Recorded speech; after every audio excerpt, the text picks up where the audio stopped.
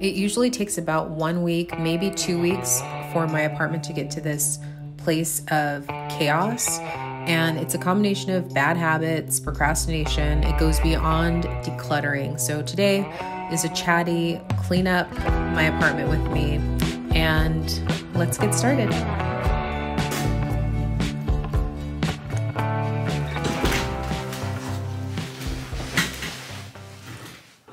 Guys, welcome to this week's video. I am doing a cleanup, tidy up of my of my appointment, of my appointment of my apartment. And uh it's gonna be different though. It's not gonna be a clean with me where I just like play music and jam out.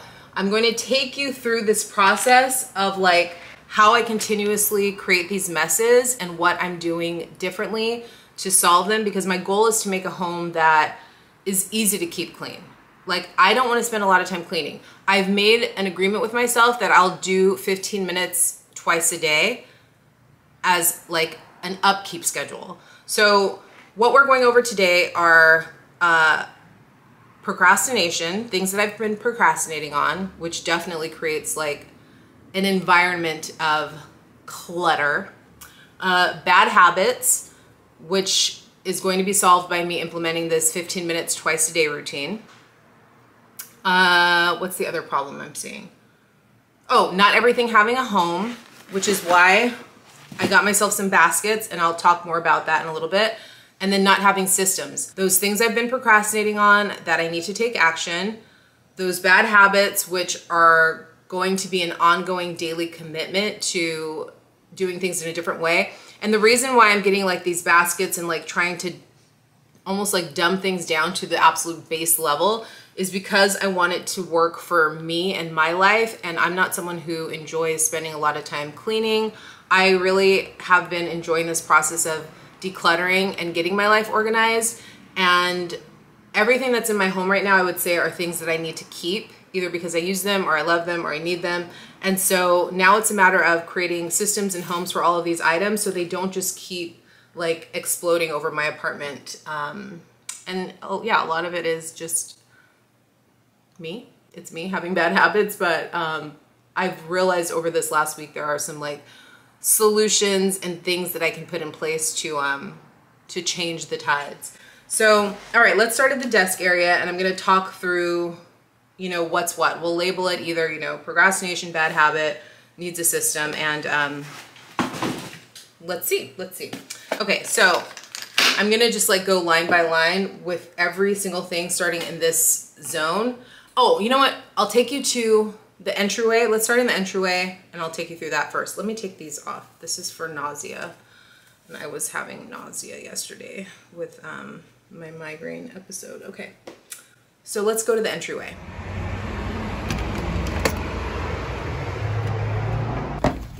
I have two entrances to my place. So this is the entrance I go in and out of when I walk Samson several times a day.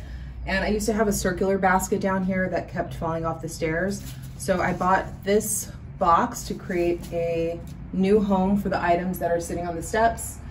And I'm going to put everything in here now, which I think will help significantly.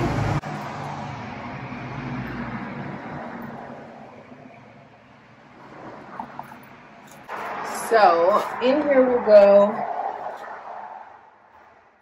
his brush, because I brushed him down here outside.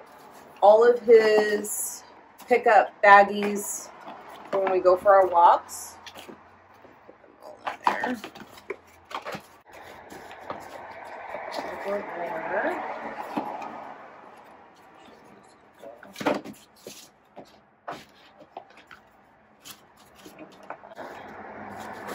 Shoes go elsewhere.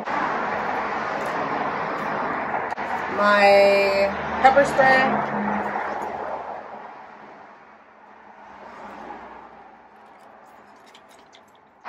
This is a pair of old beat up sunglasses, but it's good to have them down here because I always need some like that.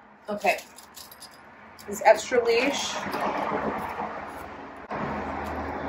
This is his leash for dog walking.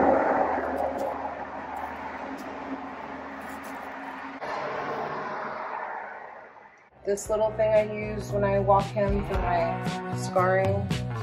Come here, baby. Come on. Go.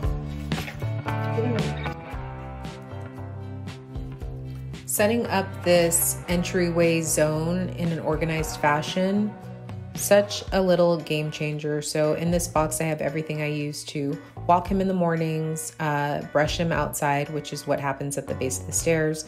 And then I also put a note that I leave on my door whenever I'm not home for packages that are being delivered of what to do with them. So, and it's just my like my little inside mailbox right here at the bottom of the stairs. And there's not enough room for something this wide to fit behind the door. So having it here on the step is actually perfect.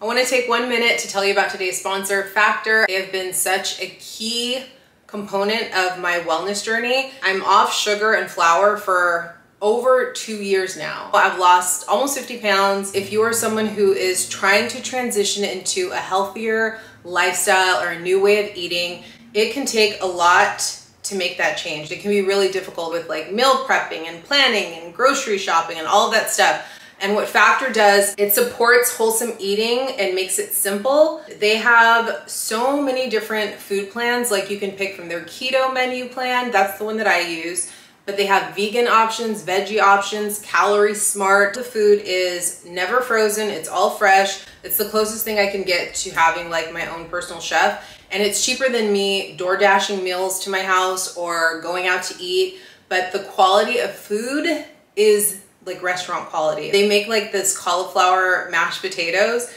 If you try to make that yourself, like that's not an easy thing to make taste delicious, but I don't know how they do it. I've had this like cauliflower risotto this week.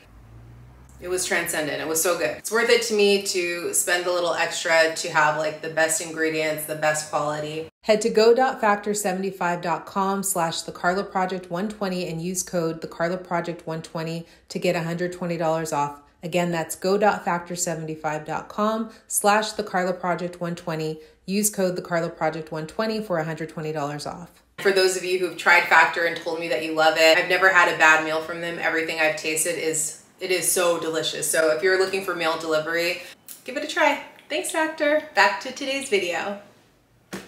All right, here we are at the desk.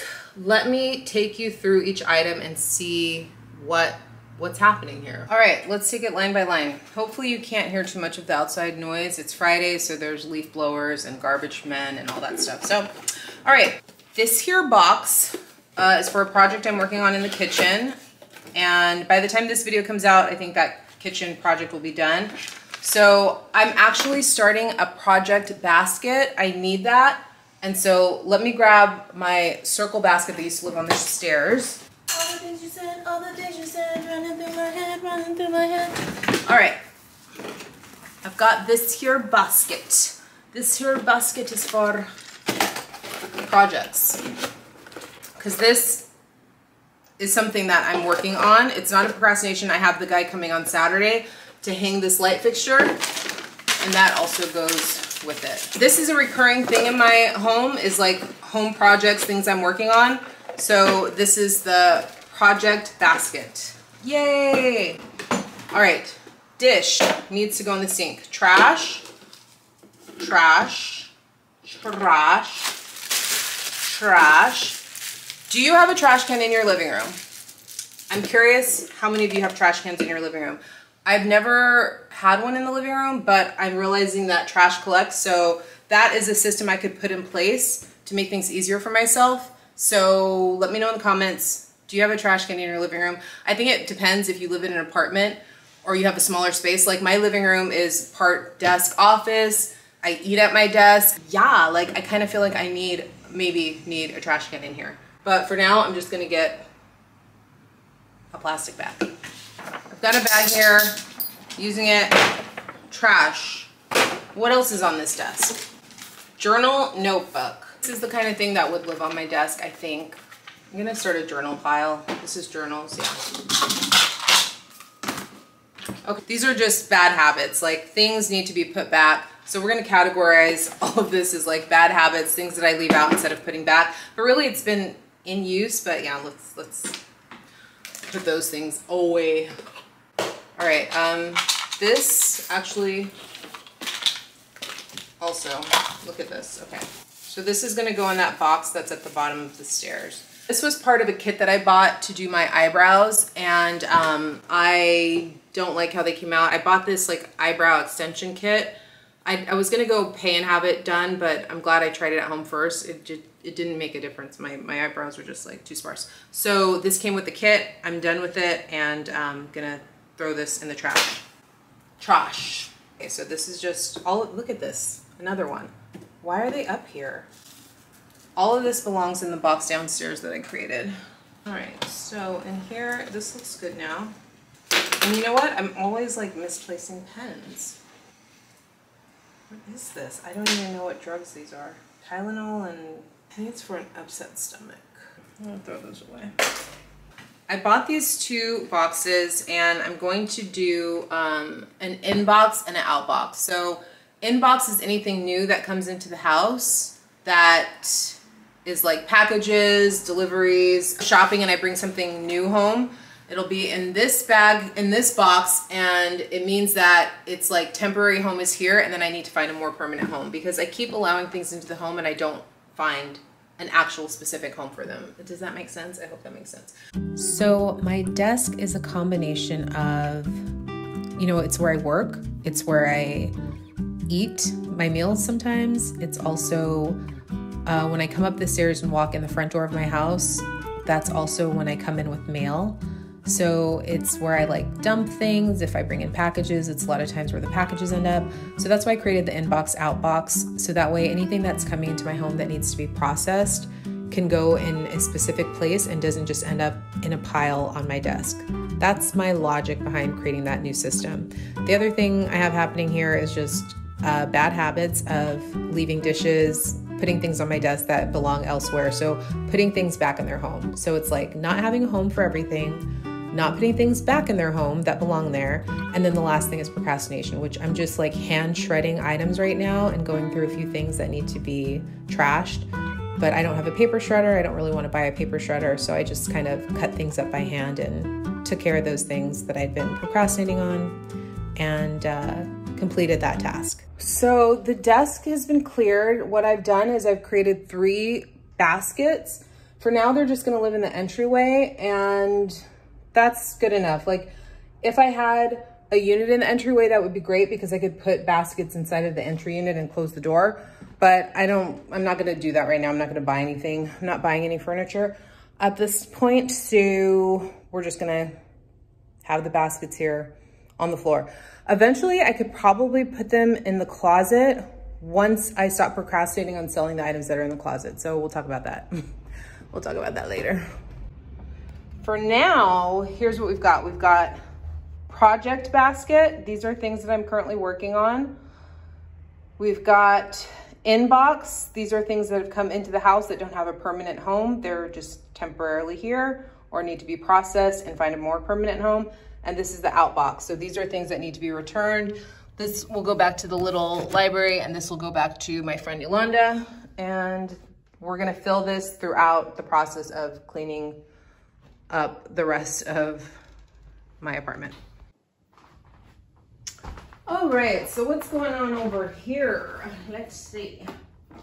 I brought my filing cabinets out because I'm working through a lot of paperwork um, and getting things scanned and digitized and all that stuff. I have a friend who's gonna come over and help me with that.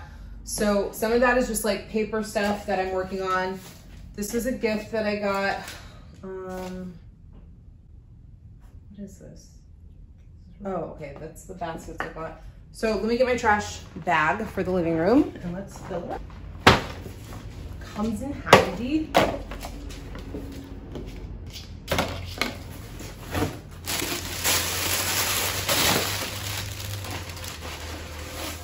Bought this for a project.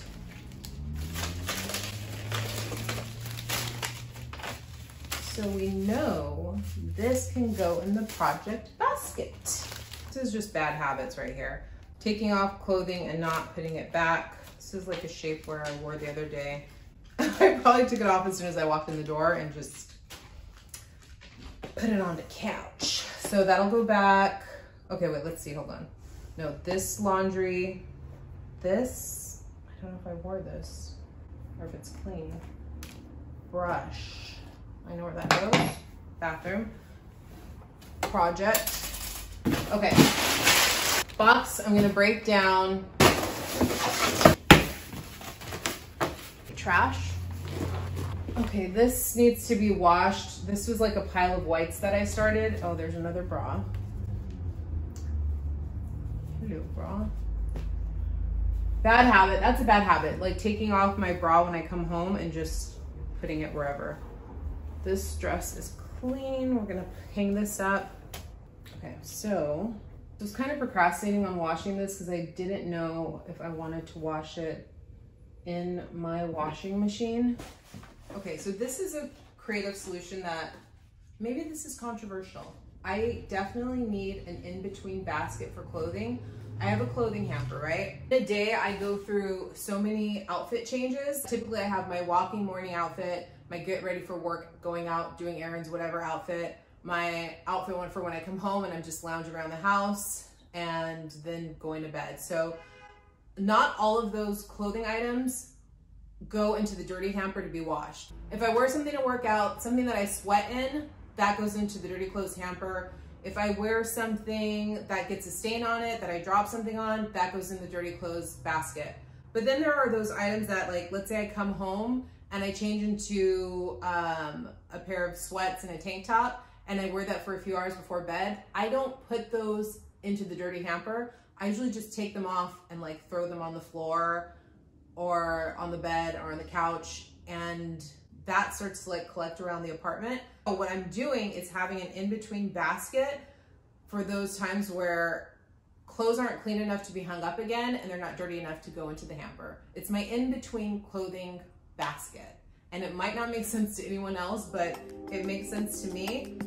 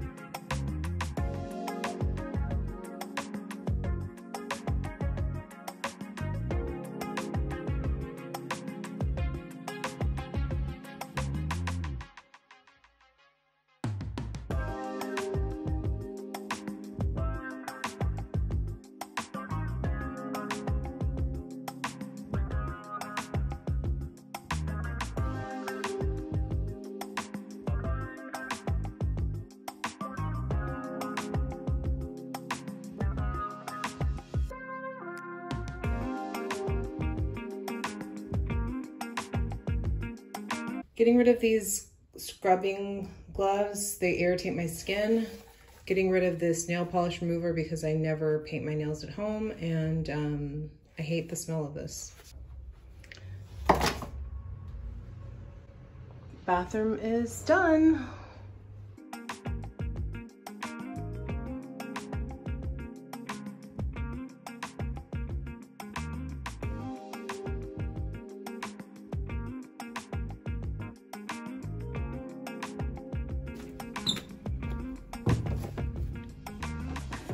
Okay, kitchen is actually not so bad. I've wheeled the washing machine in here, so I'm gonna start this cycle and I'm gonna straighten up this countertop here. That's like laundry stuff. Tupperware needs to go back up there in the cabinet. This is Samson's basket for his treats, his dog food. Um, yeah, cleaning supplies go under the sink.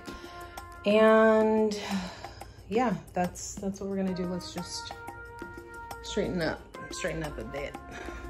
This looks good.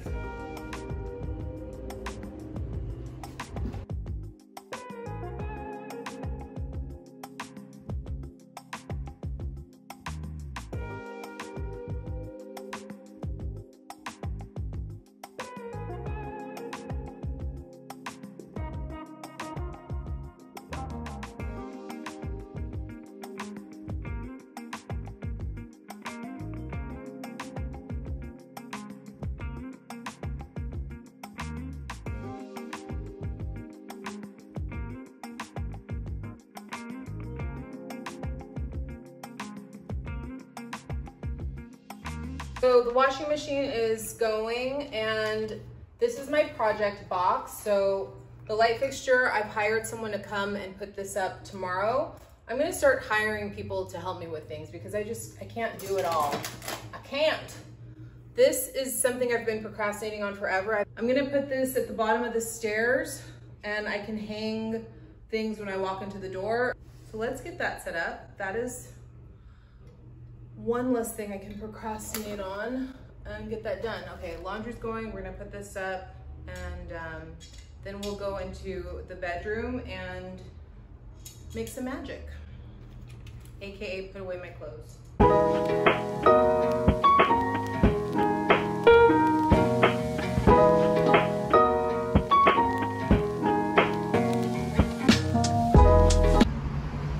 This that has been sitting in various places in my home is finally up.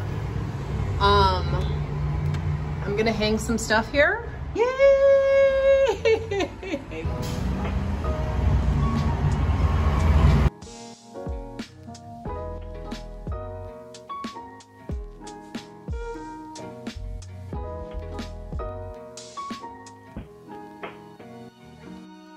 That looks so good.